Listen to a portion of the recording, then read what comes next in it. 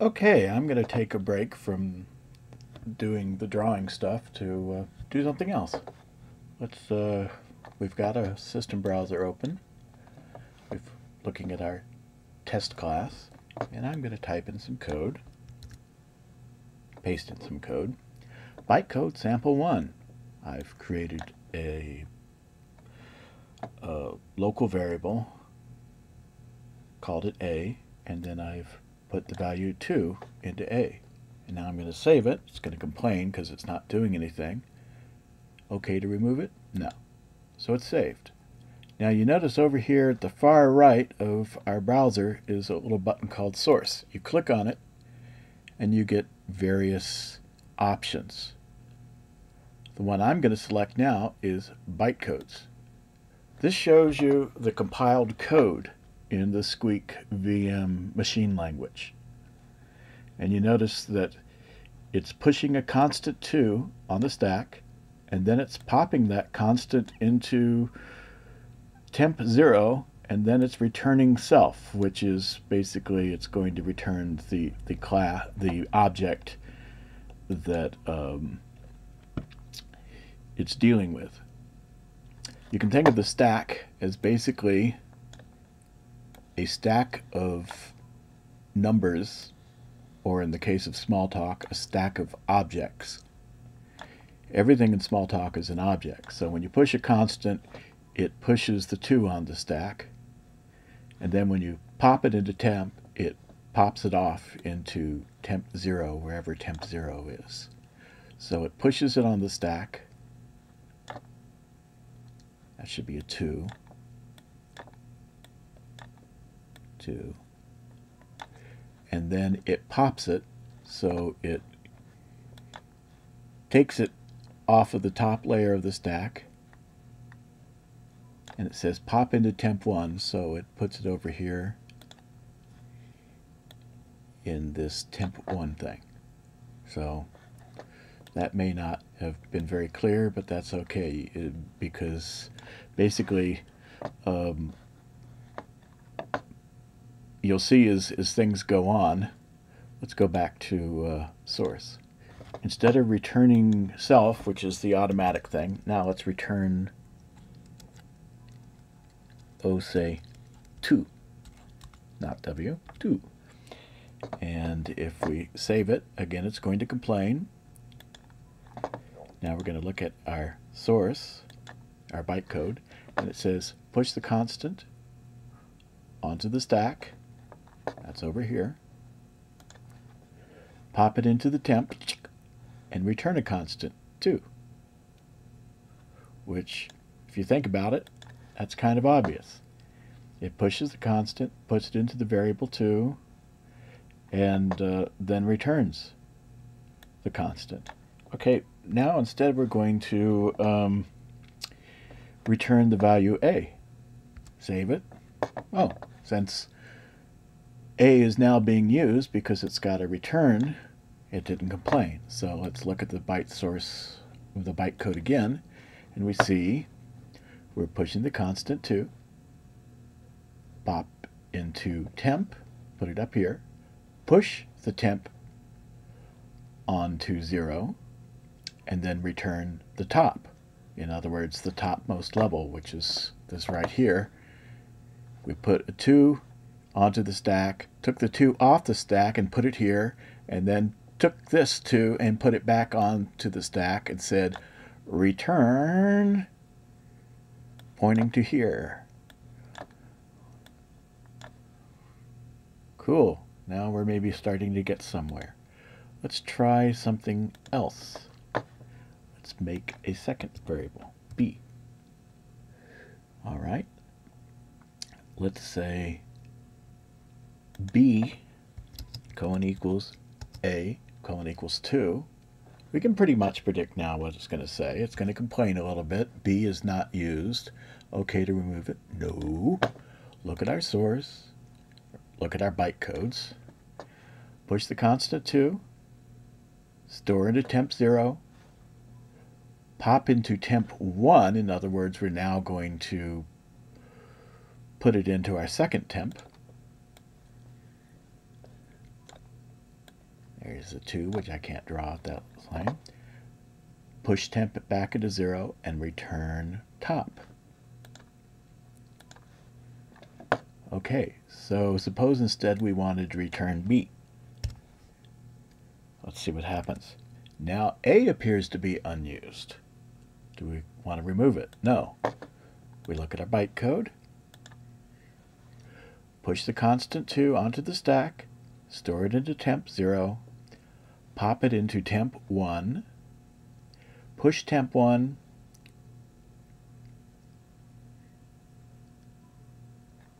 and return the top. So let's see how that is different from the other one. Let's return A again. Save it. No, we don't need to remove it. Look at the bytecode. Push temp 0. Return top. So you notice there's now a difference. So let's go back to what we were doing and add something a little more complicated. Let's see. B equals A equals 2. Now we're going to return the array A followed by B. Now I can already predict that we're not going to have a problem anymore with one of these constants being, or these variables not being used, because in fact we're both returning both of them referenced in this array. So let's see what that looks like. First of all, we save. It didn't complain about something not being used. Look at the bytecodes. Okay, push constant 2 onto the stack, store into temp 0, pop into temp 1, push temp 0, which means put it back on the stack, and now we're going to push temp 1, which means take this one and put it onto the stack. Notice what happens with the stack. You push it down, which means these things get pushed down and whatever is pushed on becomes the top one. And now we're going to pop 2 into array new. So pop this one, followed by this one into an array new, and then return the top. So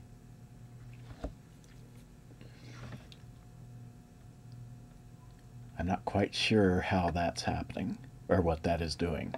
Pop 2 into array new 2. I am guessing that that is putting an array new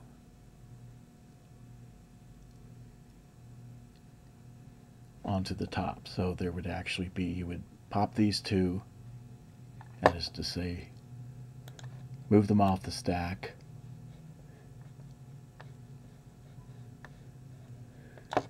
and actually put them into this array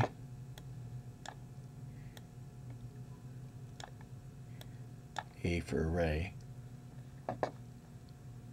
that has been created. So when you return, it's still returning the top of the stack. So anything that called or, or sent a message to this uh, to this object is going to get the return value of whatever's in the top of the stack, which in this case is that array. So you can see you can actually sit there and, and play around and make more ever more elaborate things and you can actually start to see sort of how the uh, Squeak uh, virtual machine works. You know, let's look at another option. We can always decompile, which will go back to our original. If we didn't have source code for this, it would call everything a temp variable. And we can look at documentation, which gives us just the comment strings. We could pretty print, which would show us a nice color for things if we didn't have pretty printing enabled already. And uh, tiles, I have no idea what tiles do, and it doesn't either. Said message not understood. So that's um, an interesting little thing you can do with Squeak is you can actually analyze the uh, machine code of what you're writing. And sometimes it helps you visualize better what's going on. Let's, let's add one more variable. Let's call this my array. And now we're going to say my array colon equals this right here. And we're going to return my array. So what does that do? Save it. No complaints about unused variables. And we're going to look at the bytecode. Pushes a constant 2 on the stack, stores into temp 0, pop into temp 1, push temp 0 on the stack, push temp 1 on the stack, so this goes into here, and then this one gets sent above it, so you now have two references, one to here, one to here.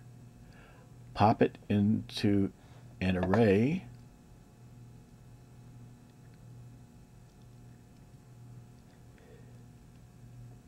pop into temp2, which means put that array reference into uh, the third temporary variable. This now holds our array. Push the reference to the array onto the stack. Remember, all this has been pushed and then popped, so it's not there anymore. Mm. I really should make it a bigger eraser, but whatever.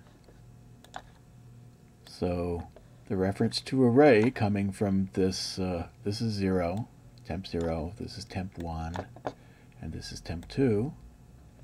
So now the reference to array, which has been pushed into temp 2, or popped into temp 2, is now pushed back onto the stack and you get your return return to the top. So what your what the calling uh, method sees is whatever's on the top of the stack, which in this case now the array. So you see, it's pretty cool. You can just sit there and analyze things as you uh, type it in and then compile it.